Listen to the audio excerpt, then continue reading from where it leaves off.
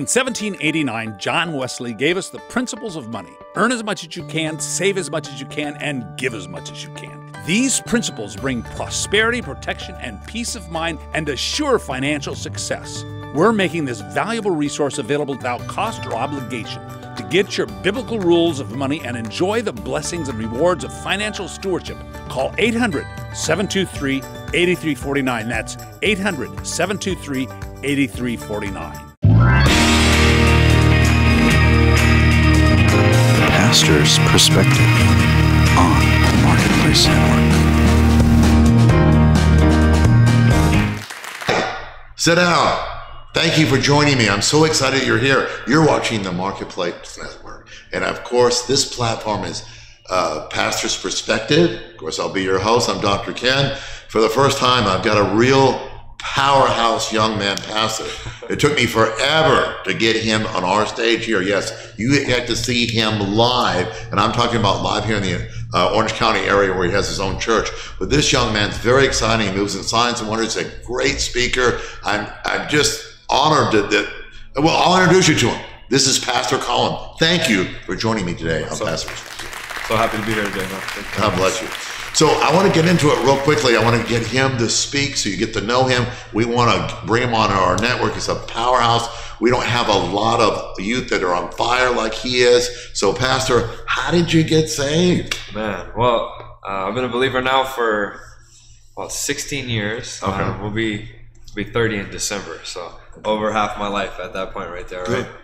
Uh, I got invited to a church when I was a young guy. I grew up in a real dysfunctional, broken home. Oh. Uh, before I was before I was born, my biological father stepped out, and I never got to uh, meet him in person. Talked to him a little bit in high school, but uh, you know, my whole life it was pretty much my mom and uh, my siblings. I'm the oldest of four. Oh, okay. And uh, we uh, we grew up in San Bernardino, kind of in a low income area of life, and a lot of different struggles, but really no gospel, no Jesus. Really? in my Nothing? life, nothing. No church attendance. I remember going to like an Easter program when I was maybe seven or eight years old. Mm-hmm. Right? I remember seeing Jesus, uh, someone acting as Jesus carrying a cross, and it, kind of sparked something in my heart. But you know, that was it'd be years later and that I'd actually meet Christ. Um, when my mom was, or when I was about ten years old, my mom met a man who was uh, from Los Angeles and Uh-huh. been in and out of drugs and gang trouble and stuff like that. And she got married to him, and uh, I had a little sister through that marriage and through that relationship. But within about a year, that that relationship got real toxic and got dangerous. It got really uh, physically abusive. Oh my goodness. Most of that abuse wasn't geared towards my mom, but it was actually geared towards me.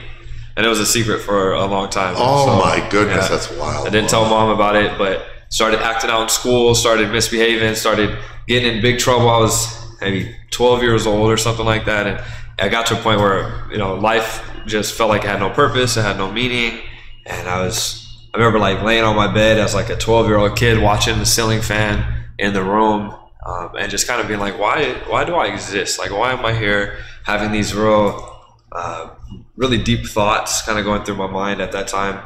And uh, things would get progressively worse and it involved drugs and guns and all type of stuff. And I was a really young guy and just really scarred and destroyed by a lot of that abuse. Um, well, my mom found out one day we were walking through a grocery store and I, I, you know, we're going through like the frozen food section. It was just me and my mom, and I just I started crying, and my mom's like, "What's wrong, honey? Like, do you not like the frozen peas like that I'm buying? Like, why why are you upset?" And I, I, I she didn't expect it. I spilled the guts of everything that was going on. I was like, "This has been happening. I've been coming home with black eyes, or you've been coming home from work. I have black eyes and look like I've been in fights. I've been saying it's football. I've been saying I got a fight at school, but this actually has been happening behind closed doors. I've haven't been going to school. I've been getting beat up at the house and stuff Oh like that. Oh my goodness. And um, we ended up relocating out to the Palm Springs area. And uh, we're out in Palm Springs area doing our thing and, and trying to recover. And the world had uh, their methods of trying to help me, right? So they put me through counseling, they put me on medication, and I was angry and I was violent and uh, just had no hope and no purpose. Um, we ended up moving to a transitional housing that was set up for low income families that have been through abuse. So it was my brothers and sisters, myself, and my mom, and they. Uh, I, I met a family in there, and they were going to a church locally, and they said, "Hey, we're going to church up the street. You should come. Call VCA. think you'd really enjoy it." And one Sunday morning, I, I went over to their house, and I was just looking for purpose, and I was like, "Hey, are you guys going to church?" They're like, "No, we don't feel good, and we're gonna stay home today." And so something in me just said, "Get up and go to the church anyway." And so I went and I walked down the street. I went to the wrong church first, uh, but I went into a place and they they were preaching the gospel and they the the message was Genesis four. It was about Cain and Abel, and the Lord started doing something in my heart. And so I was like, "Whoa, that's that's kind of interesting." It would be a couple months before I went back to that church, but eventually I did, and um, I was invited to the youth ministry. I got invited to a summer camp, and it was August fifteenth, two thousand and seven. The Lord radically changed my life. He delivered me from uh, depression and, and suicide and Oh anger and anxiety and uh, just loneliness and feeling purposeless. The Lord delivered me like immediately. I remember up until that point for the last two years or so, I would have nightmares every time I went to sleep. Anytime I closed my eyes, I would I would have nightmares. I would have crazy dreams. I'd wake up sweating and and frustrated and, and so sad. scared. But the night that I got saved, I got filled with the Holy Spirit. It stopped. Right? It was instantly Wow. just that night never the same. I remember sleeping like I felt like I'd never slept before. I felt like I hadn't slept for two years, right? And I felt the rest of the Lord. And I didn't know what it was, but the Holy Spirit is what it what it was. You know, that's what I found out later. Yeah, there was a message that God is a God that's willing to to go after you as you're lost, and He has the power to, to save you and bring you back. And I remember going to that altar on that Wednesday night, going before the Lord, and just saying, "Lord, I don't know what you can do with me, but if you if you reveal yourself to me, if you if you show me that you're who you are, then I'll surrender everything I have. I'll, I'll follow you wholeheartedly." And the Lord met me at that time. He met with that promise. He filled me with the Holy Spirit. Went back to school, telling people about Jesus. And there was a there was a kid I'd gotten a really big fight with, uh, like in front of the whole school, a couple months before that. And uh, we went back to school because this was over the summer. Uh-huh. And I saw the kid in the hallway, and I ran over to him because I wanted to tell him that Jesus saved me, and I wanted to apologize. And I, I kind of walked up and I said, "Hey, Dakota," and he turned out and he was kind of scared to see me. He's like, and I was like, "No, no, no, like, hey, man, like I met Christ, dude. I'm so sorry. I can't believe that happened. Like, please forgive me." And he was like, "Okay." And then a couple months later, he he actually started going to the Bible study that I went to. He actually gave his life to the Lord. Oh, Uh, praise God. so anyway, that was uh, 2007, and here we are today. Hey, man, isn't that a powerful testimony? Huh? You see why we waited so long to get him. Now, Pastor, I know because of time, I want to make sure everybody gets to know you as well as I do so they can get an idea of what you teach and preach and what they should expect. So, what are you doing? I know you're pastor at church. Can you share a little bit about your church? Yeah. Oh, let me give you a little bit of the journey getting there. Please. We um, so met the Lord at 13, involved in our church for five years, learning how to study the Word of God, teach the Word of God. Really had a heart for youth and young adults, and uh, started an on-campus ministry at our school with, Wow. with a very pretty girl that turned out to be my wife later on. Oh, the pretty girl uh, I'm looking at now? yeah, that one over there. Oh, there you go. uh, so we, you know, we were doing ministry. We were serving middle school while we were in high school. We were doing high school ministry outreaches. We do uh, concerts and stuff, and we did music at the time. So we would, uh, you know, do a little bit of music to try to tell people about Christ. Uh, in 2016, the Lord told me at a winter retreat that He was calling me to the ministry. He was calling me to be a youth pastor, and um, so right after high school, 20, Wow. 2012. I might have given you the wrong dates. That was 2010. I, I heard that from the Lord. But in 2012, two years later, we uh, went off to go to school. My wife went to Vanguard University out here in Orange County. Yeah. I went to Calvary Chapel Bible College and then went off to go get a, a music degree afterwards. And in 2014, we were serving at a church for a couple years out here and they asked me to step on as the youth pastor. We were already serving the youth ministry, just uh, assisting the previous pastor, and they all retired and kind of moved on and went off to do different things. And so we took over the youth ministry in 2014, Okay. and we served in that ministry till 2020. Wow. Yeah, uh, and then we saw God do a really powerful work, small but mighty. You know, it was a, a really awesome group, and when I recall those memories and those years, I think those were some of the greatest years of our our ministry to youth. You know, Okay. um, so fast forward in 2022, I get a call from that church. We had moved away. God called us to go back to where our family was and serve uh, at our home church where we got saved at.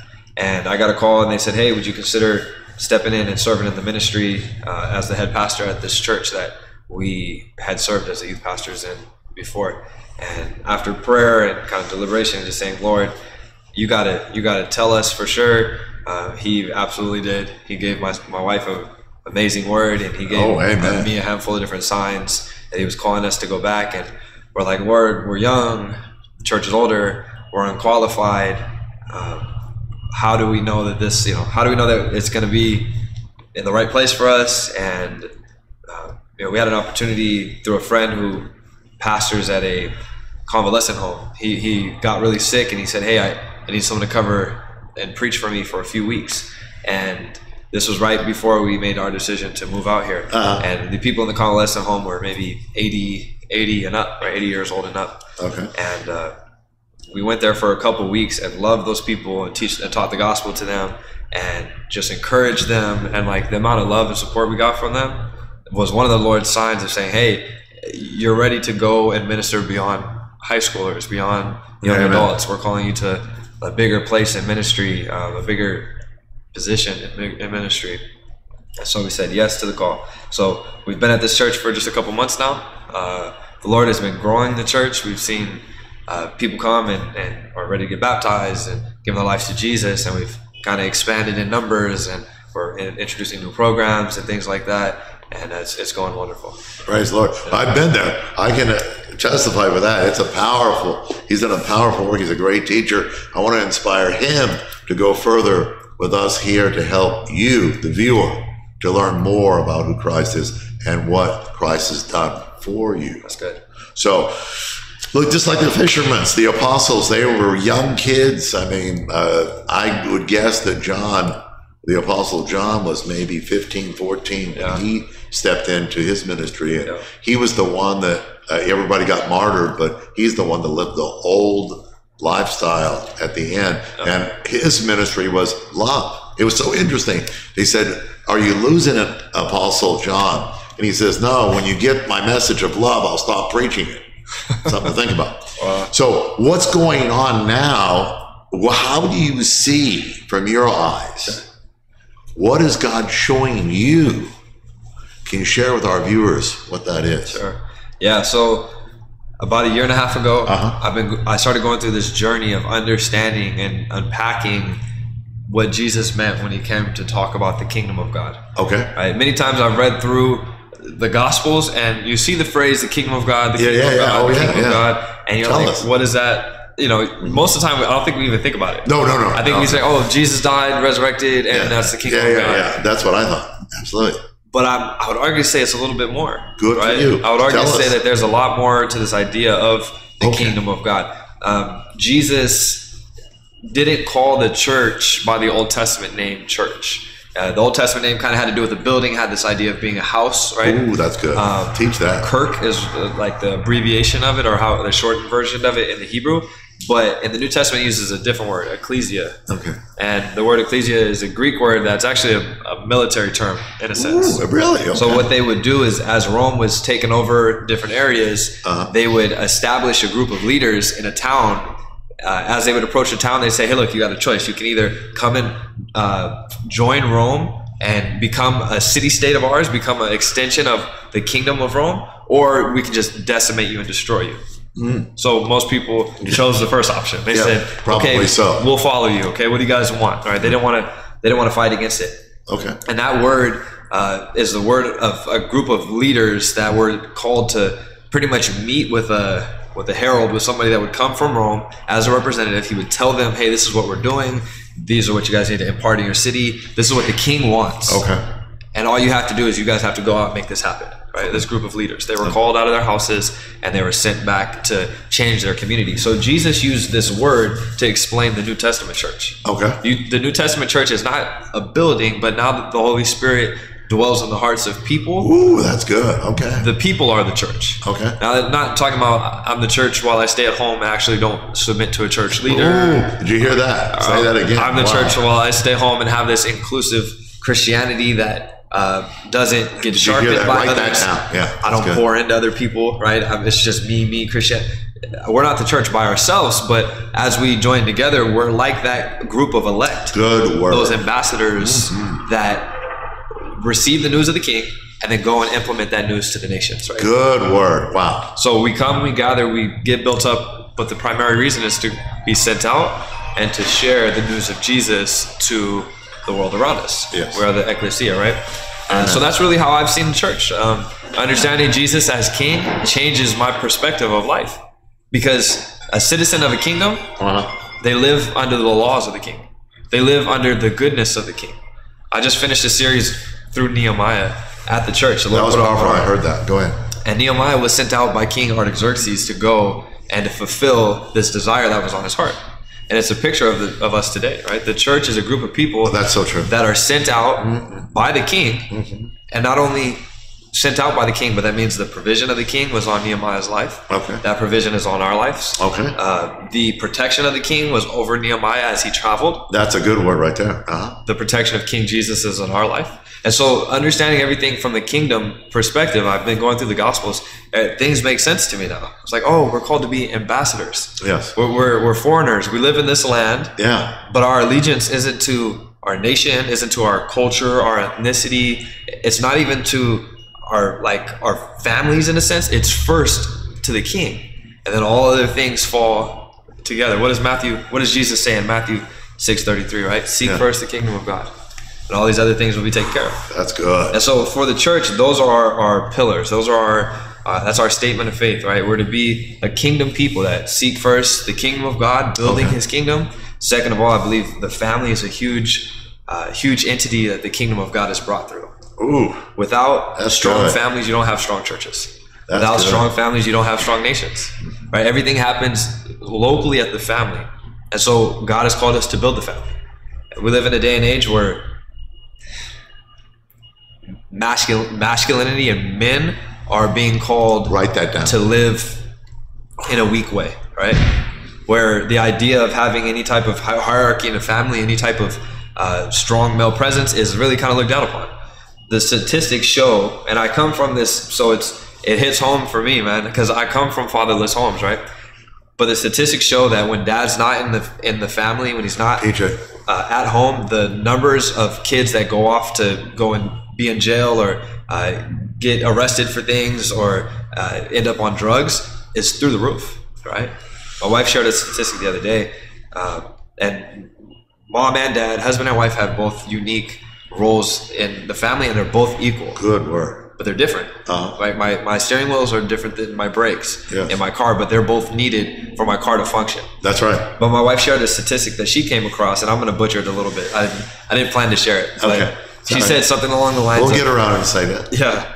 She said something along the lines as uh, they did studies that women that go to church and and uh, have children, their kids are like twenty percent likely to be followers of Christ if the if the if the husband doesn't go to church, but the wife does. Really? But if the husband leads the family in going to church and walking with Jesus, Yeah. the statistics say like 95% of those kids Is that a fact? Wow. Good word. Okay. So, our church, this idea of building the family is, is huge, right? I have a huge ministry to say, man, we need to we need to step up. We need to learn what it means to love sacri- sacrificially, to live in uh, this this um, loving leadership model that Jesus brought us. We're called to resemble Him, and I think we have a high a high calling. And I want to empower the family. I want to see young people learn what it is to to experience Jesus and, and walk in His gifts at a young age uh, women to, to find their calling and their their uh, position in, in life and what God's calling them to do and in their family. And then the last part of our church, building the kingdom is one, building the family is two, lastly is building the community. And that's really based on Wow. the book of Acts, chapter two.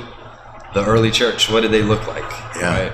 In America, really in America, we uh, we're all about the white picket fence in the house, Yeah. and and like our lives exist in this small bubble right here, Yeah. and community in a, like its truest sense is is maybe missing here, and even in the church, you know, we call people in the church our family, and then we don't share things going on, we don't help each other in times of need, and you know, if that's your family, that, that's I don't want to be a part of that family personally, right? Yeah. So I think we're we need to have church be a unique place where the community of God exists. Yes. And it actually looks like the community of God from the book of Acts. Wow. That's where we get all of our information from, right? They sold everything they had. That's they really helped each other. They gave to one another. They supported each other. They they really banded together. Other cultures around the world that are more communal, like they understand this. They go to church, then they spend six hours with the people after church together, right? That's good. Most of the time we get to church and we're like, I want to get out of here. I got lunch plans with, you know, with someone else that's not at church. You know? Yes, And it's just not always a true community. So we're like, Lord,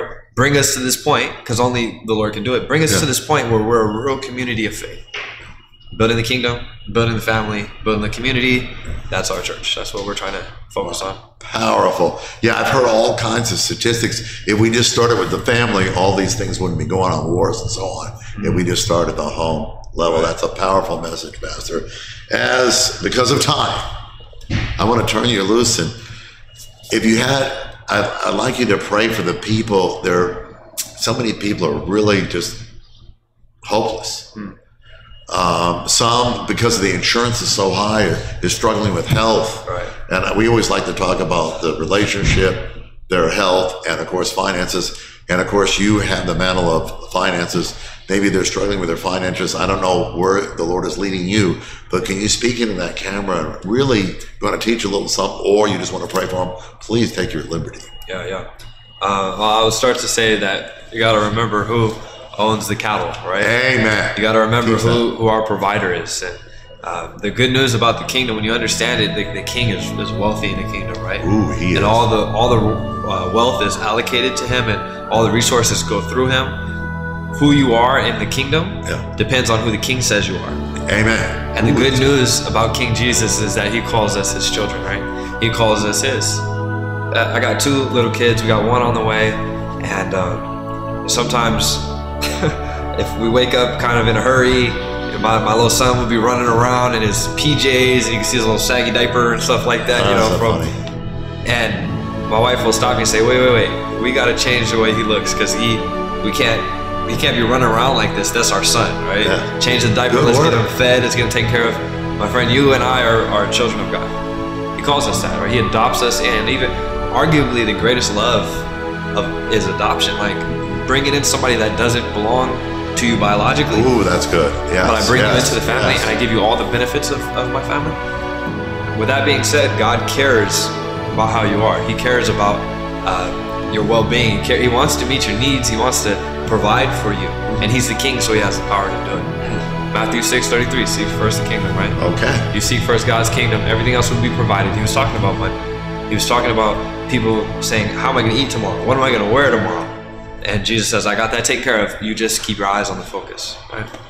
Powerful, powerful word. You've heard it. Now I want you, the, his lower thirds you see right here on screen. If you have any prayer requests or if you want to actually come to his church, please email him at that address. He's very personable. He will get back to you. What's the? Where's the church at? When does the church start? Sure. We're in uh, Westminster, California, most beautiful city in Orange County. Yes, definitely. And uh, we are we're meeting on Sunday mornings at 10:30 right now.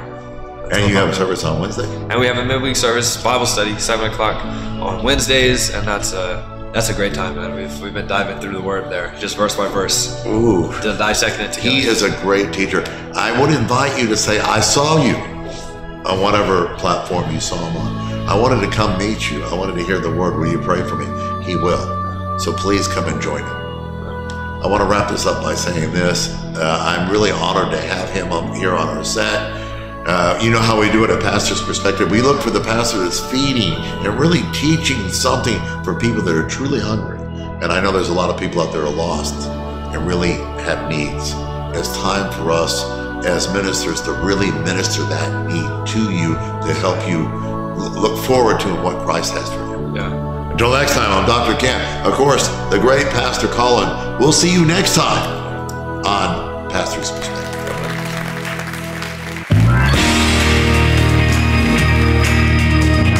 Pastor's Perspective on the Marketplace Network.